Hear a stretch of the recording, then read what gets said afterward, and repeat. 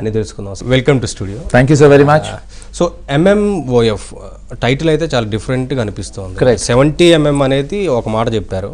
So ఏంటి అసలు ఈ టైటిల్ కాన్సెప్ట్ ఫస్ట్ ఇప్పుడు ఇంటర్వ్యూ స్టార్ట్ చేసే ముందర నేను మిమ్మల్ని ఒక క్వశ్చన్ వేస్తాను. నిజం చెప్పనా? మీకు నచ్చేటట్టు చెప్పనా? మళ్ళీ అడగలేదని అడగద్దు. మీరు నిజమే చెప్పండి. మాకు నచ్చినట్లు ఏదో వద్దు. ఓకే అసలు నాకు మా నాకు ఎంఎంఓఎఫ్ అనే టైటిల్ మార్చడం ఇష్టం లేదు నాకు. నేను ఓన్లీ నటుడు నేను నాకు అంతకన్నా సే ఉంటుంది producers director the all felt it should be called seventy MM actually cinema పేరు సెవెంటీ ఎంఎం ఎంఎంఓఎఫ్ అని దాని రిఫ్లెక్షన్లో చూస్తే సెవెంటీ ఎంఎం అవుతుంది. నేను ఇప్పుడే రివీల్ చేయొద్దు. సినిమా తర్వాత రివీల్ చేద్దాం అన్నాను. సో బట్ సినిమా వాళ్ళది వాళ్ళ ఇష్టం. సో రివీల్ చేశారు. సో ఈ స్టోరీ ఎలా ఉండబోతుంది? నేను ట్రైలర్ చూసా. సో ట్రైలర్ మొత్తం ఒక డిఫరెంట్గా ఉంది. మీ వాయిస్ కానీ వాయిస్లో బేస్ కానీ భయపెట్టే రకంగా ఉండడం కానీ తర్వాత థియేటర్ ఎక్కువగా థియేటర్ బ్యాక్గ్రౌండ్ కనిపిస్తుంది అందులో. సో ఏంటి అసలు కాన్సెప్ట్? అంటే ఈ cinema as it is been revealed seventy MM అని ఇది నక్షల్లో చెప్పాలి అంటే ఈ కథ ఒక థ్రిల్లర్ లేకపోతే ఒక మర్డర్ మిస్టరీ అని మామూలు మన మామూలు మామూలు భాషలో చెప్తే అలా చెప్పాలి. బట్ నన్ను అడిగితే ఇది documentation of very real true events అని నా ఉద్దేశం. అంటే నిజంగా జరిగిన కథ కాదు ఇది. ఇప్పుడు ఒక కథ జరుగుతూ ఉంటే మనం చూస్తే బహుశా ఇలాగే ఉంటుందేమో అని. ఫర్ ఎగ్జాంపుల్ ఇప్పుడు ఈ మల్టీప్లెక్స్ థియేటర్స్ వచ్చిన తర్వాత సింగిల్ స్క్రీన్ థియేటర్స్ అది కూడా కొంచెం ఓల్డ్గా ఉండే సింగిల్ స్క్రీన్ థియేటర్స్ కొంచెం గ్లామర్ తగ్గింది. అలాంటి ఒక థియేటర్ ఓనర్ నేను నాకు నా భార్య నా చెల్లెలు తో అతి కష్టం మీద గడుపుతున్న లైఫ్లో ఇక్కడ అనుకోకుండా కొన్ని మర్డర్స్ జరుగుతాయి. ఇప్పుడు ఇది నేను మీకు చెప్పాలి. మర్డర్స్ జరుగుతాయి అంటే టన్ అని ఒక కలర్ఫుల్గా ఒక మర్డర్ మిస్టరీగా కాదు. ఇప్పుడు అనుకోకుండా థియేటర్లో ఒక మర్డర్ జరిగింది. జరిగితే నా పేరు దీపక్ సినిమాలో ఆ థియేటర్ దీపక్ అనే థియేటర్కి ఓనర్నే. ఏం రియాక్ట్ అవుతాం? పోలీస్కి చెప్తామా? పోలీస్కి చెప్తే ఉన్న అసలే వచ్చే పది పదిహేను మంది ఆడియన్స్ వాళ్ళు కూడా రావటం మానేస్తారు. ఎందుకంటే నేను అన్ని పాత సినిమాలు నడిపిస్తూ ఉంటా. సో ఆ క్షణంలో నేనేం చేస్తాను? నేను నా థియేటర్ సిబ్బంది కలిసి ఉన్న ఇద్దరు ముగ్గురు ఏం చేస్తావు? ఎంత రియలిస్టిక్గా ఉంటుంది? అప్పుడు మా మధ్యన జరిగే ఇమోషనల్ టర్బులెన్స్ ఎలా ఉంటుంది అనేది కథ. అమ్మయ్యా! చెప్పేసా. మీకు ఇందులో బాగా నచ్చిన పాయింట్ ఏంటి? స్టోరీ చెప్పినప్పుడు అంటే ఇదే. ఇదే. ఇదే నచ్చింది నాకు. రియలిజంతో చెప్పిన కథ. ఇప్పుడు ఇది ఎలా ఆడుతుంది? ఆడచ్చు బాగా హిట్ అవుతుందా? లేకపోతే అవదా అనేది చెప్పలేము. ఎందుకంటే ఏ సినిమాకి చెప్పలేం. ఈ సినిమాకే కాదు. సెకండ్ ఇది చాలా రియలిస్టిక్ ఎమోషన్స్ రియలిస్టిక్ టైంలో తీశారు. ఇది బాగుంటే చాలా కొత్తగా రియలిస్టిక్గా ఉందనొచ్చు లేకపోతే డాక్యుమెంటరీలో ఉందనొచ్చు. So I don't know me documentary అని మీరు చెప్తున్నారు. డాక్యుమెంటేషన్ ఆఫ్ ట్రూత్ అని చెప్పాను ఓకే ఓకే డాక్యుమెంటరీ కాదు. సో నెక్స్ట్ ఇప్పటివరకు లవ్ సినిమాలు తీశారు సో భయపెడుతూ వచ్చారు. ఒక చాలా గ్యాప్ తర్వాత చాలా సార్లు భయపడ్డాం కూడా సినిమా తీసి ఆడినప్పుడు.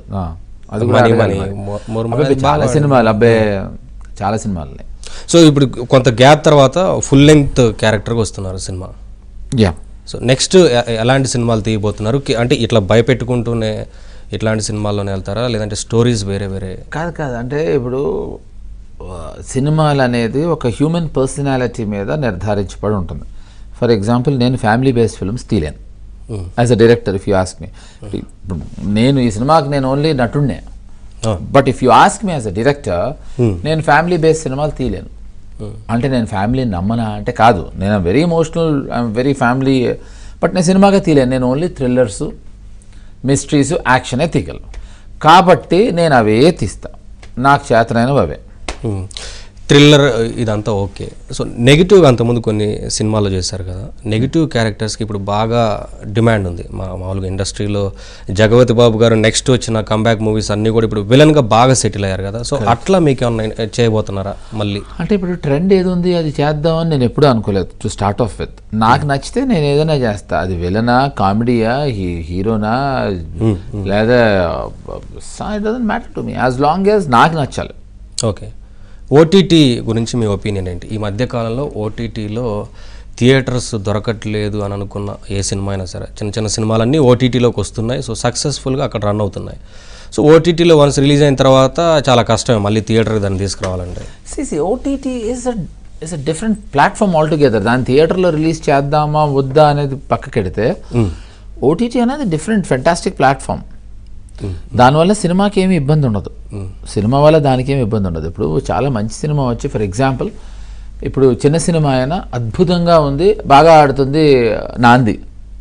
అవును. కరెక్ట్ మరి దానికి సినిమా బాగుంటే జనాభా వస్తున్నారుగా ఉమ్, ఈ పెద్ద సినిమా ఇదేమి యాభై కోట్ల సినిమా కాదుగా. అలానే it's cute nice film so cinema బాగుంటే ఆడియన్స్ వస్తారు. సో ఆడ్ సినిమాకి పోటీ కాదు. చిన్న చిన్న సినిమాలు ఎవరైతే రిలీజ్ చేసుకోలేని వాళ్ళు ఉన్నారో నేను అదే చెప్తున్నా. సో ఇది డిఫరెంట్ ప్లాట్ఫామ్ అంటే రెండింటికి సంబంధం లేదు. సినిమాకి ఇది పోటీ కాదు ఫస్ట్ స్టార్ట్ ఆఫ్ విత్ చిన్న సినిమా రిలీజ్ చేసుకోలేని సినిమా అనేది పక్కకెడితే సినిమా తీస్తే సినిమా థియేటరే కాదు మన అదర్ ప్లాట్ఫామ్ మీద కూడా రిలీజ్ చేసుకోవచ్చు అనే ధైర్యాన్ని ఇస్తున్నాయి అవి. సో ఆబ్వియస్గా ఇట్స్ డిఫరెంట్ ప్లాట్ఫామ్ ఆల్టుగెదర్ చిన్న అంటే ఏ తీసేవాడు కూడా ఇది మన అవధు రిలీజు అప్పుడు మనం ప్లాట్ఫామ్ మార్చి మనం ఓటీటీకి అమ్ముదాం అని అనుకోరు. అంటే పెద్ద సినిమాలకి ఏమన్నా ఎఫెక్ట్ ఉంటుందా? ఓటీటీ చాలా మంది ఎక్కువైతే థియేటర్లోనే మన బొమ్మ థియేటర్లో పడాలి థియేటర్లో ఎవరైనా అదే అనుకుంటారు. అని అనుకుంటారు కదా ఫస్ట్. సో ఆ రకంగా ఇప్పుడు ఓటీటీకి అంటూ సపరేట్గా సినిమాస్ తీస్తున్నారు. అలా థియేటర్లో తీసిన సినిమా ఇక్కడికన్నా వాళ్ళకి ఎక్కువ బెనిఫిట్ వస్తే ప్రొడ్యూసర్స్ ఓటీటీకి ఇవ్వడంలో నష్టం లేదు తప్పు లేదు. MMOF cinema. ఈ చిన్న కన్ఫ్యూజన్ ఉంది దానికి. ఏం పర్లేదు. ఆ సినిమా ఎప్పుడు రిలీజ్ కాబోతుంది? దీన్ని కూడా ఏమన్నా ఓటీటీకి లాంటి ఏమన్నా ప్లాన్స్ కాదు ఇక్కడ యాక్చువల్లీ ఈ సినిమా ఇరవై ఆరు ఫిబ్రవరి రిలీజ్ అవుతుంది అవ్వబోతుంది. ఈ సినిమా ప్రొడ్యూసరు లేదు నేను థియేటర్లోనే రిలీజ్ చేస్తాను నేను ప్లాట్ఫామ్ ఓటీటీ మీద త్రా చేస్తాను అని అతను డిసైడ్ అయ్యాడు. ఓకే ఇప్పుడు రాజశేఖరు చిపిలా రాజశేఖర్ కానీ కాసిం కానీ వాళ్ళిద్దరూ లేదు మాకు థియేటర్లో చూడాలి స్పెషలీ రాజశేఖర్. నేను థియేటర్లోనే చూడాలి నా సినిమా నేను ప్లాట్ఫామ్ ఓటీటీ ప్లాట్ఫామ్ మీద త్రా చేస్తాను అన్నాడు. సో తను థియేటర్లో రిలీజ్ చేసుకుంటున్నాడు. జేడి కాసిం అని ఇంతకుముందు మిమ్మల్ని అడుగుతున్నాను అదే. జేడి అని ఎందుకు పెట్టుకున్నారు అనేది? అది తను నేను అడగాలి మీరు తనని ఎప్పుడైనా మీరు అడగండి. యాక్చువల్గా ఏంటంటే తనకి కోర్స్ అంటే తనకి నా మీద ఉండే ఇష్టం అభిమానంతో తను కాసిం అనే పేరుకి ముందు జేడి అని తగిలించుకున్నాడు ఫస్ట్ సినిమా తర్వాత మామూలుగా బ్రాండ్ ఉంటే సెకండ్ సినిమా ఇంకో డైరెక్టర్కి ఎందుకు ఫెయిల్ అవుద్ది? బ్రాండ్ ఏముండదు ఎప్పటికప్పుడే అది ఎనివే ఎంట్రీకి ఉపయోగపడుతుంది కదా. ఇట్స్ మిత్ అది అభిమానం. జేడి అని అతను తగిలించుకోవటం వెనకాల అతనికి ఉండే ఇష్టం. అది పొట్ట పచ్చబొట్టు పొడిపించుకుని మరీ వేయించుకున్నాడు. అండ్ ఎస్పెషలీ మొమడియన్స్లో ముస్లిమ్స్లో వాళ్ళు పచ్చబొట్టు వేసుకోకూడదు. వేసుకోరు అయినా కూడా తను పచ్చబొట్టు వేసుకున్నాడు. So I'm I'm really so so thankful to Kasim ఎందుకంటే తను బతుకున్నంత వరకు నా పేరు తన చేతి మీద ఉంటుంది. అంతకన్నా మనం ఇంకేం అచీవ్ చేస్తాం? చాలా పెద్ద అది అభిమానానికి అది పరాకాష్ట. అవును అవును. అయితే మీరు వరుసగా సినిమాలు చేస్తూ వచ్చిన జేడి మధ్యలో చాలా వరకు గ్యాప్ వచ్చింది కదా. సో ఎందుకని అంత ఎక్కువ గ్యాప్ తీసుకున్నారు? పైగా ఒక హిప్పీ లాంటి మూవీ చేశారు. ఆ- ఆ తర్వాత ఇప్పుడు చిన్న చిన్నగా చేసుకుంటూ మళ్ళీ ఎక్కి తొక్కేద్దాం. ఇతను అడిగిన ప్రశ్నకి అంటే అయ్యో పాపం బాగున్నాడు కుర్రాడు అనిపిస్తుంది. సో యాక్చువల్గా ఇంకెవరైనా అడిగితే నా సమాధానం ఏంటంటే నా ఇష్టం. నాకు అలా చేయాలనిపించలేదు అని చెప్పేవాడు. సార్ నీకు కొంచెం చెప్పారు కదా. వివరించి చెప్తా నీకు. ఏం లేదు నీకు సి నాకు సినిమా నచ్చితే చేస్తాను. నచ్చకపోతే చేయను. సింపుల్. సో మధ్యలో గ్యాప్ వచ్చింది అంటే రా గ్యాప్ రాలేదు. తీసుకున్నాను. బికాస్ నాకు నచ్చలేదు. ఇప్పుడు హిప్పీ సినిమా ఫ్లాప్ అయింది కదా అని సడన్గా చిచి ఆ సినిమా నేను ఇంత బ్యాడ్ ఫిల్మ్ అని అనుకోలేదు అని చెప్పను నేను. అప్పుడు ఆ క్షణంలో నాకు నచ్చింది. ఆడుతుంది అనుకున్నా ఆడలేదు. So what difference it makes నాకు అది నచ్చింది. సో ఈ మధ్య నేను ఏం చేస్తానంటే తెలుగు కన్నా తమిళ్ కానీ మలయాళం కానీ కన్నడ కానీ I'm doing lots of films. So మీరు చిన్న చిన్న అంటే కొత్తగా వచ్చే డైరెక్టర్స్ని కూడా ఎంకరేజ్ చేస్తున్నారు అనేది ఇప్పుడు ఆర్పితో ఒక సినిమా చేస్తున్నారు కదా డైరెక్టర్గా? తను ఆఫీస్ ఓపెన్ చేస్తే అక్కడికి వెళ్ళినప్పుడు నాకు తను చెప్పిన లైన్ నచ్చింది తప్పకుండా తనకు సినిమా చేస్తా అని చెప్పా. సో అంతేగాని ఇది మేము ఇది వచ్చే నెల స్టార్ట్ తను కరోనా అయిన వెంటనే స్టార్ట్ చేస్తాను స్టోరీతో అన్నాడు. సో తను స్టిల్ వర్కింగ్ ఆన్ స్టోరీ తను స్టోరీ ఎప్పుడు రెడీ చేసుకుని నాకు చెప్తే I don't definitely I love to do film film. Varma గారితో ఎప్పుడు ఉండబోతుంది? మీరు వచ్చారంటే వర్మ గారి నుంచి అడగాల్సిందే. లేదు హండ్రెడ్ పర్సెంట్ నేను చాలా గర్వంగా కూడా ఫీల్ అవుతాను. రీసెంట్గా నక్షత్రం అని కృష్ణవంశీతో సినిమా తీశారు. సాతులూరు వేణుగోపాల్ అని ఆయన రామ్ గోపాల్ వర్మ గారు కలిసి నా దర్శకత్వంలో సినిమా తీస్తున్నారు. అది అవుతుంది. సో అతి త్వరలో వర్మ గారితో మళ్ళీ కలిసి చేయబోతున్నారు. యా. సో ఒక క్వశ్చన్ ఇది. కరోనా టైంలో చిరంజీవి గారికి ఒక లెటర్ రాసినట్టున్నారు. పొగడతలతోని కానీ అనుచరుణ్ణి కాదు అంటూ ఒక కామెంట్ చేశారు కదా దాన్ని ఇది ఇది అనుచ. అనుచరుణ్ణి కాదు అని నాకు అను దాచేసి చరణ్ని కాదు అన్నట్టు అనిపిస్తుంది. నేను చరణ్ ఎందుకు అవుతాను కూడా? ఓకే అనుచరుణ్ణి కాదు కరెక్ట్. ఏంటి ఆ స్టేట్మెంట్? అంటే ఇప్పుడు పొగడతలు కాదవి కాబట్టి అనుచరుణ్ణి కాదు అని రాశాను.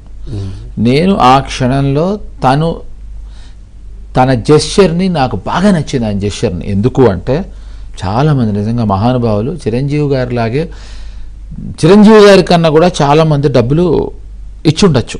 చిరంజీవి గారు తీసుకున్న డెసిషన్ నాకు బాగా నచ్చింది. ఎందుకు అంటే దాంట్లో ఆయనతో పాటు చాలామంది సమిష్టి కృషి ఉండొచ్చు. బట్ ఆయన డెసిషను సినీ కార్మికుల కార్మికులందరికీ డబ్బులు చేరాలి. వాళ్ళ కష్టాల్లో ఉన్నారు అన్నప్పుడు ఆయన ఇచ్చిన సలహా ఏంటంటే బ్యాంకులో డబ్బులు వేద్దామని అందరూ కొంతమంది అన్నారు బాగుంటుంది వాళ్ళ అకౌంట్ నెంబర్స్ తీసుకుని వేద్దామని ఆయన అన్నారు వద్దు. సపోజ్ మధ్యలో జరిగే జరగలేదు. జరిగిన తేడా జరిగిన కొంచెం అటు ఇటు అయినా ఇంటికి గ్రెయిన్స్ ఫుడ్ గ్రెయిన్స్ అనగా బియ్యం పప్పు ఉప్పు పంపిస్తే గ్రాసరీస్ పంపిస్తే ఖచ్చితంగా అది వాళ్ళకి రీచ్ అవుతుంది. అర్ధ రూపాయి ఎక్కువైనా కూడా. డబ్బిస్తే కొంతమందికి కొన్ని కొన్ని వ్యసనాలు ఉంటాయి. ఖర్చు. అది ఒక తీసుకుని అప్పుడే తాగేస్తే ఇంట్లో వాళ్ళు ఇబ్బంది పడతారని ఆయన ఇచ్చిన సలహాకి ఆయన సలహాతో పాటు దాన్ని తీసుకుని చర్యకి దాన్ని ఎలా ఆయన how he actually implemented it అనే దానికి నచ్చి నేను నా ఆ, స్పందన అలా చూపించా. అంతేగాని అనుచరుణ్ణి కాదని అందుకే రాశాను okay it's not that then I'm trying to please him so I loved what he he's done మీరు ఏదైనా స్ట్రైట్గా ఉంటారు. కరెక్ట్ కరోనా వచ్చిన తర్వాత బిఫోర్ ఆఫ్టర్ కరోనా అంటే సినిమా ఇండస్ట్రీలో వచ్చిన మార్పుల గురించి యాక్చువల్గా to be very honest corona వచ్చిన తర్వాత ఖచ్చితంగా వచ్చిన ఒక మంచి మార్పు ఏంటంటే కరోనా టైంలో ఆడియన్స్ ఓటీటీ ప్లాట్ఫామ్స్ని పిచ్చి పిచ్చిగా చూసేయటం మొదలెట్టారు. ఎందుకంటే వాళ్ళకి వేరే ఆల్టర్నేట్ series ఎంటర్టైన్మెంట్ లేవు. అది వెబ్ సిరీస్ అవ్వచ్చు. ఇప్పుడు అప్పటి వరకు సినిమా ఇండస్ట్రీలో తప్ప బయట చాలా అరుదుగా తక్కువ పర పరభాషా చిత్రాలు అనగా కొరియన్ అవ్వచ్చు లేకపోతే ఒక ఇటాలియన్ ఫిల్మ్ అవ్వచ్చు ఒక ఇరానియన్ ఫిల్మ్ అవ్వచ్చు చూసేవాళ్ళు కాదు మహా అయితే తమిళ సినిమానో కన్నడ సినిమానో. ఇప్పుడు అవన్నీ అయిపోయి. ఈ అన్ని భాషల సినిమాలు చూడటం వల్ల వాళ్ళ పరిజ్ఞానం విపరీతంగా పెరిగిపోయి వాళ్ళ చాయిస్ ఆఫ్ ఫిల్మ్స్ కూడా పెరిగాయి. సో దానికి హండ్రెడ్ పర్సెంట్ నా ఉద్దేశం లిటరల్ ప్రూఫ్ నాంది. ఒక kind of different kind of film వస్తే వర్కౌట్ అయింది వాళ్ళ టేస్ట్లు మారాయి. సో ఐ బిలీవ్ కరోనా రావటం బిఫోర్ కరోనా ఆఫ్టర్ కరోనాలో చాయిస్ ఆఫ్ ఫిల్మ్స్ ఆడియన్స్ మారాయి. కాబట్టి సినిమా ఇండస్ట్రీ వాళ్ళు కూడా ఇప్పుడు సినిమా ఇండస్ట్రీ వాళ్ళు చాలా మంది ఏ వాళ్ళు తీసిన సినిమాలే తీస్తారు అవే తీస్తారు. కాదు. ఇక్కడ ప్రాబ్లం ఏంటంటే ఇక్కడ గబుక్కున వెరైటీ ఫిల్మ్స్ తీస్తే ఇదివరకు మన ఆడియన్స్ రిసీవ్ చేసుకోవడానికి టైం పట్టేది. ఇప్పుడు అలా లేదు. అవును వెంటనే ఇప్పుడు. వెంటనే రిసీవ్ చేసుకుంటున్నారు కొత్త సినిమాలు కొత్త కైండ్ ఆఫ్ ఫిల్మ్స్ తీయడానికి ఇప్పుడు సినిమా ఇండస్ట్రీ కూడా వెనకాడు అవును. ఇంత బాగా డీసెంట్గా ఇంటర్వ్యూ చేసి నేను చాలా కాలం అయింది సరే ఇలా ఒకటి. ఏదో బాధగా ఉంది ఇలా ఎందుకని? దేవుడు ఎంత చాలా డీసెంట్గా మాట్లాడుతున్నాను.